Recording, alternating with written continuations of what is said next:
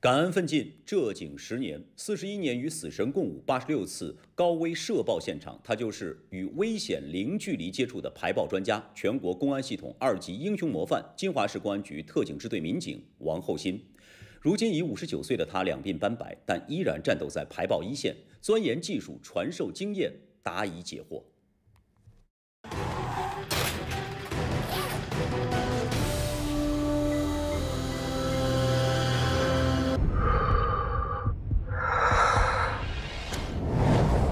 就是排爆专家王厚新。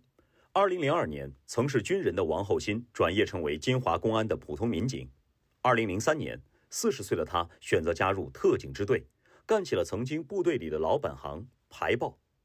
一个呢，我自己也能够胜任这个这件工作；第二个呢，领导这么信任，那那我就我想也不辜负他们的这种期望。二零一八年三月。金华上胜村菜地里发现一枚制式炸弹，威胁巨大。王厚新主动请缨，现场排爆。这个炸弹啊，到时候我们要运到这个摧毁现场去。我说谁来开这个车？他马上说了一句话，他说我来。师傅当时是这么说的，呃，因为这个弹有不确定因素，所以说他说，呃，我是老同志，还是我来开吧。为了避免车体震动引爆炸弹。原本只有一公里的路，王厚新开了十多分钟。当炸弹顺利运达、销毁场地后，所有人都暂时松了口气。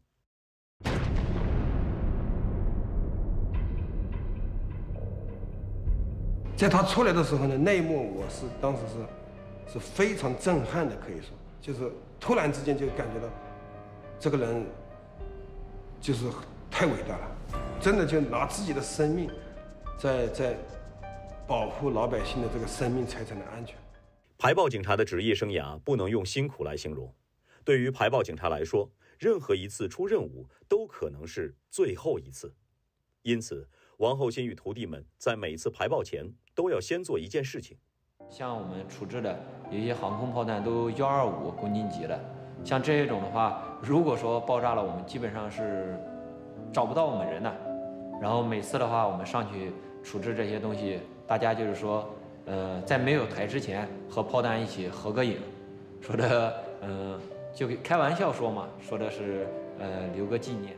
别人看来像个玩笑，事实上，作为主牌手的压力，那种下一秒随时可能会牺牲的未知，是常人根本无法体会的。有时候他干什么事，他说那些年轻人嘛，毕竟他们也很年轻啊，那都是独生子女，所以他有的事情都他自己干。他说也不是不怕死啊，这个谁都怕他。在公安排爆战线的二十年里，王厚新进行了八十六起排爆作业。他用四十一年的实战经验，创造出一套涉爆现场处置的老王工作法，得到了排爆同行的高度认可。二零一八年，王厚新被授予全国公安系统二级英雄模范荣誉称号。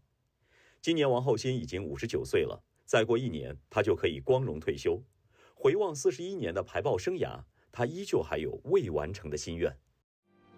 我是金华排爆的一个起步的一个人，因为在之前金华没有排爆，解除这个威胁的必须要有人来做。我们这个呃排爆队伍就是要去完成，就处置好。爆炸对我们的这个社会各方方面面的威胁。那么做事情呢，我觉得就应该有一个，要有一个善始善终，肯定到退休，啊，坚持到退休，也许还能够再总结出来一些东西，比如说经验教训留下来。其实这个是我心里面想的最最想干的一个事情。